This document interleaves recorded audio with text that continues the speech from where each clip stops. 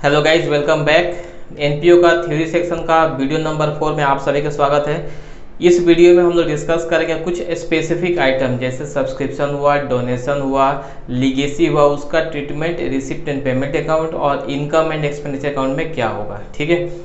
तो स्टार्ट करते हैं। Explain the treatment of following specific items in receipt and payment account and income and expenditure account जो specific item नीचे mention किया, उसका रिसिप्ट एंड पेमेंट अकाउंट और income expenditure account में क्या ट्रीटमेंट होगा, ठीक है? ये प्रैक्टिकल के हिसाब से बहुत इंपॉर्टेंट है और एग्ज़ाम में भी टू टू थ्री मार्क्स का पूछता है।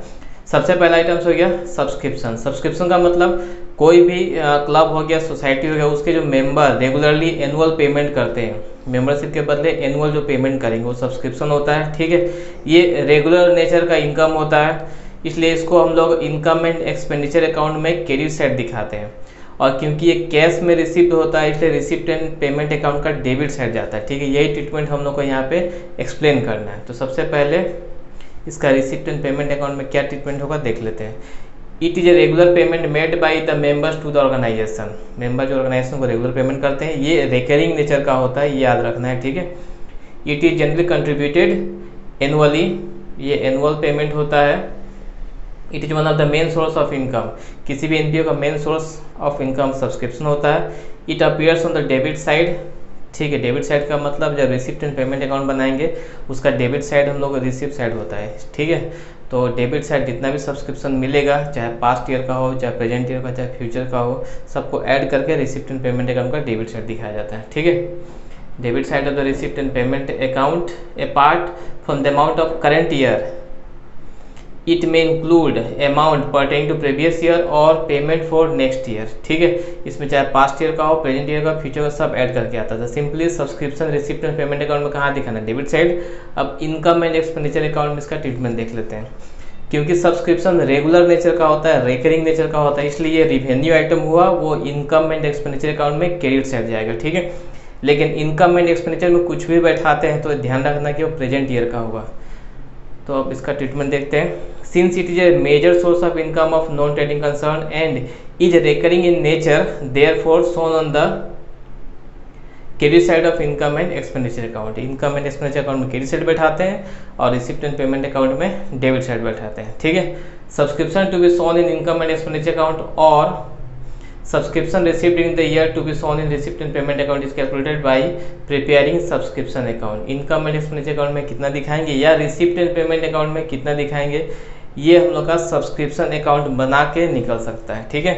सब्सक्रिप्शन अकाउंट कैसे बनाए, इसका हम आगे प्रैक्टिकल भी कराएँगे ठीक है? यहाँ पे एक शॉर्ट में हम एक फॉर्मेट समझा देते हैं सब्सक्रिप्शन अकाउंट का, ठीक है?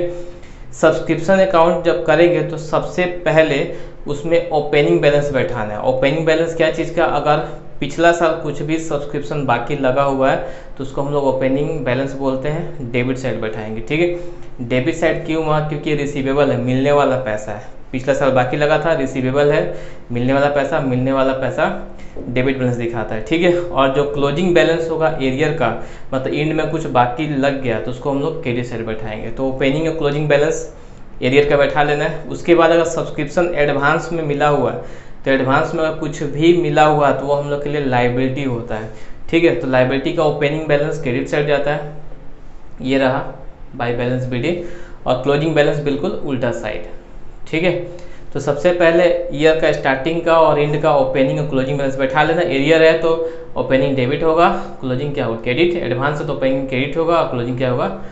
डेबिट होगा, ठीक है? उसके बाद जितना सब्सक्रिप्शन रिसिप्ट हुआ है साल भर में, जो हम लोग को रिसिप्ट एंड पेमेंट अकाउंट से पता चल जाएगा तो उसको क्रेडिट साइड बैठा लेना है, ठीक है?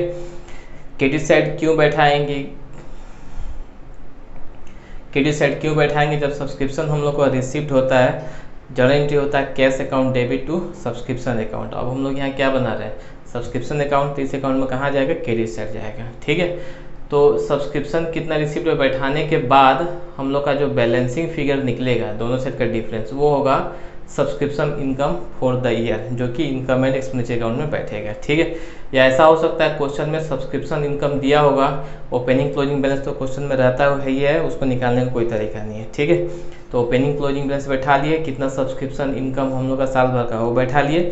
फिर जब डिफरेंस करेंगे तो हम लोग का सब्सक्रिप्शन रिसिप्ट कितना हुआ, ये हम लोग को पता चल जाएगा। ठीक है? तो ये तो हो गया सब्सक्रिप्शन दूसरा होता है life membership fees life membership fees permanent member बनाने के लिए जो फ़ीस कलेक्ट किया जाता है, उसको हम लोग लाइफ मेंबरशिप फ़ीस बोलते हैं। और ये नॉन रेकरिंग नेचर का होता है मतलब एक ही बार मिला, मिलेगा एक मेंबर से उसके बाद फिर नहीं मिलेगा, ठीक है? इसलिए कैपिटल आइटम हुआ रिवेन्यू आइटम नहीं हुआ। रिवेन्यू आइटम सब रेकरिंग नेचर का होता है मतलब रेगुलर नेचर के होते हैं, ठीक है? अब उसका ट्रीटमेंट क्या होगा? लाइफ मेंबरशिप फ़ीस क्योंकि कैश मिलता है, इसलिए रिसिप्ट एंड पेमेंट अकाउंट का डेबिट साइड और क्योंकि ये कैपिटल आइटम होता है रिवेन्यू आइटम नहीं होता है, इसलिए इसको इनकम एंड एक्सपेंडिचर अकाउंट में नहीं बैठाएँगे, ठीक है? Membership if granted to a person for the whole life special is special fees is charge from him her this is called life membership fees permanent member बनाए उसके बाद जो पैसा लेंगे वो लाइफ मेंबरशिप फ़ीस हुआ। है it is charged once in the life of a member. It is a capital receipt for the year. ठीक है and hence shown as receipt receipt and payment account receipt and payment account का feature होता है, चाहे capital item हो या revenue item हो सब रिसिप्ट एंड पेमेंट अकाउंट में जाएगा, ठीक है? ये तो हुआ रिसिप्ट एंड पेमेंट अकाउंट का ट्रीटमेंट लाइफ मेंबरशिप फ़ीस मिला है, इसलिए रिसिप्ट साइड बैठा देना है, ठीक है?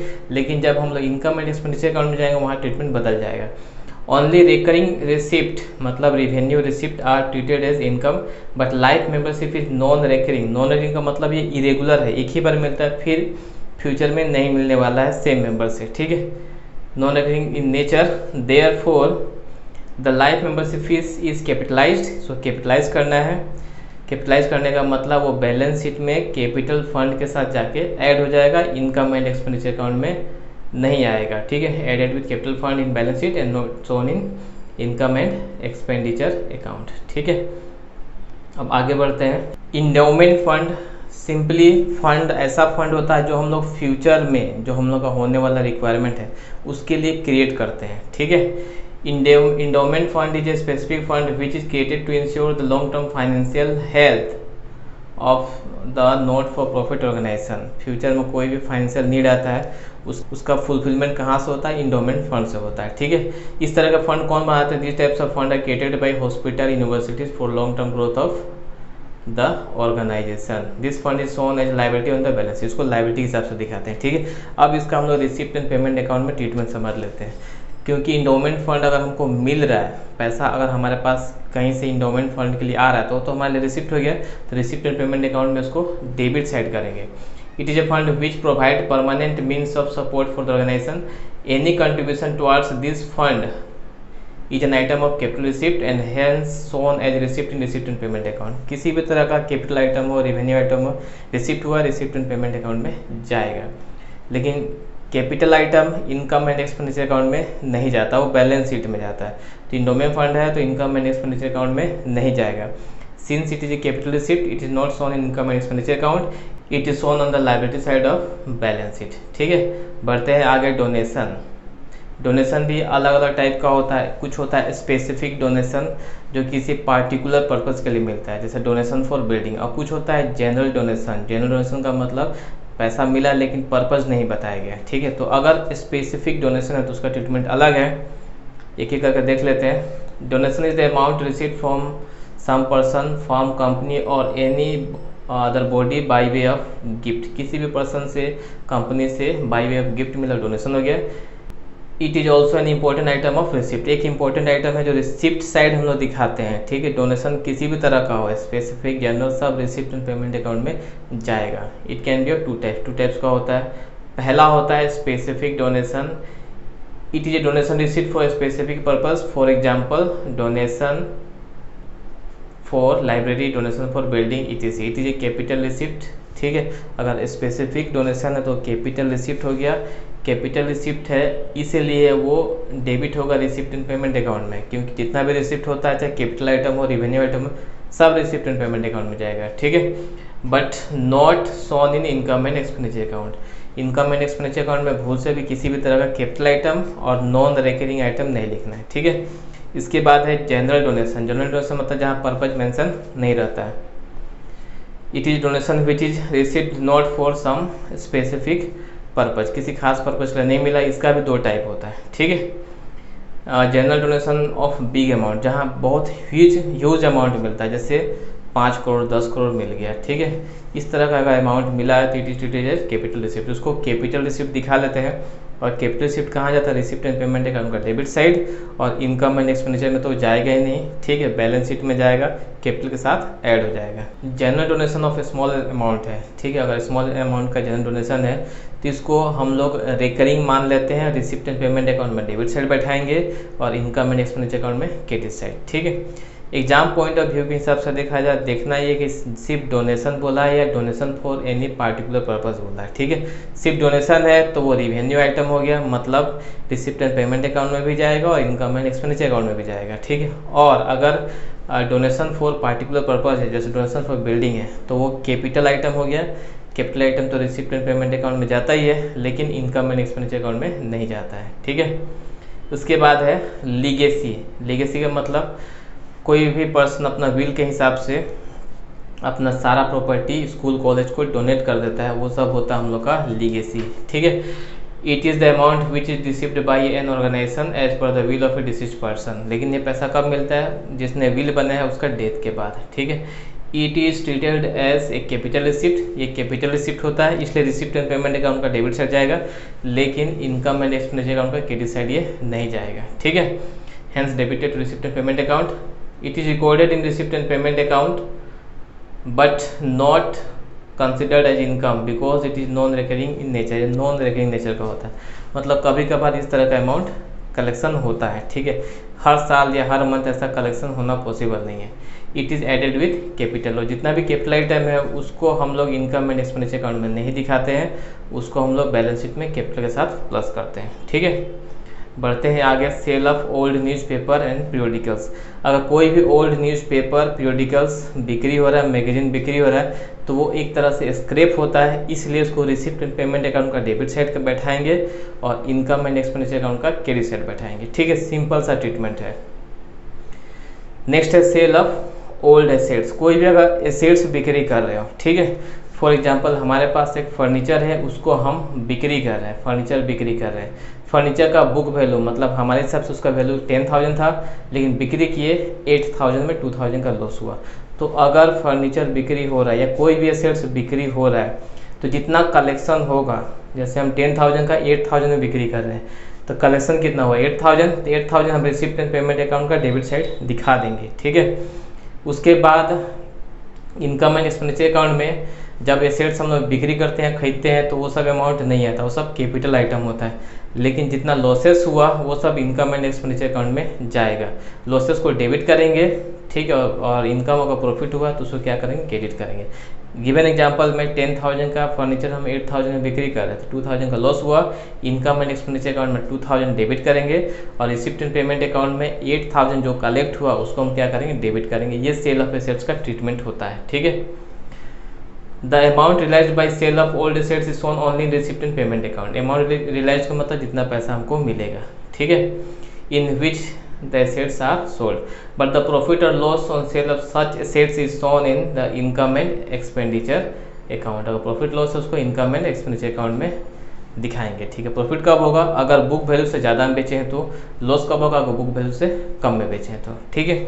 एसेट्स में ध्यान रखना एसेट्स खरीदोगे, बेचोगे, हम लोग का रिसिप्ट एंड पेमेंट अकाउंट में आएगा, लेकिन इनकम एंड एक्सपेंडिचर अकाउंट में नहीं आएगा, ठीक है? लेकिन बेचने के टाइम में अगर प्रॉफिट एंड लॉस हुआ है तो वो इनकम एंड एक्सपेंडिचर अकाउंट में जाता है। प्रॉफिट हुआ तो क्रेडिट लॉस हुआ तो डेबिट ठीक है? नेक्स्ट है सेल ऑफ़ स्पोर्ट्स मटेरियल ठीक है? जब स्पोर्ट्स मटेरियल बेचेंगे तो पैसा कलेक्ट होगा, उसको रिसिप्ट एंड पेमेंट अकाउंट में debit side बैठाएँगे. The proceeds by sale of sports material are shown in the receipt and payment account ठीक है? सिंपल सा treatment since sales of sports material is the regular one for any sports club अगर sports club का question solve कर रहे हो, ठीक है? स्पोर्ट्स मटेरियल सेल किया जा रहा है। तो स्पोर्ट्स मटेरियल सेल लोग का रेगुलर खर्चा और रेगुलर खर्चा ही इनकम एंड एक्सपेंडिचर अकाउंट में जाता है। अगर सेल करोगे, पैसा मिलेगा तो रिसिप्ट एंड पेमेंट में तो जाना ही जाना, चाहे रेगुलर हो या इरेगुलर हो। रिसिप्ट एंड पेमेंट में हम लोग रेकरिंग नॉन रेकरिंग नहीं देखते हैं। लेकिन इनकम एंड एक्सपेंडिचर अकाउंट में हम लोग को ये चीज़ देखना पड़ता है रेगुलर है कि नहीं। तो इस तरह का आइटम तो रेगुलर हो गया तो उसको क्या करेंगे? The sales proceed is treated as income ठीक है इनकम मान लेंगे और shown in the credit side of income and expenditure account ठीक है? But for other organisation it treated as an assets other organisation है स्पोर्ट्स ऑर्गेनाइजेशन नहीं है तो sale of assets sale of sports material हुआ है तो उसको इनकम एंड एक्सपेंडिचर अकाउंट में नहीं दिखाना है, उसको हम लोग बैलेंस शीट में लेके जाएँगे, ठीक है?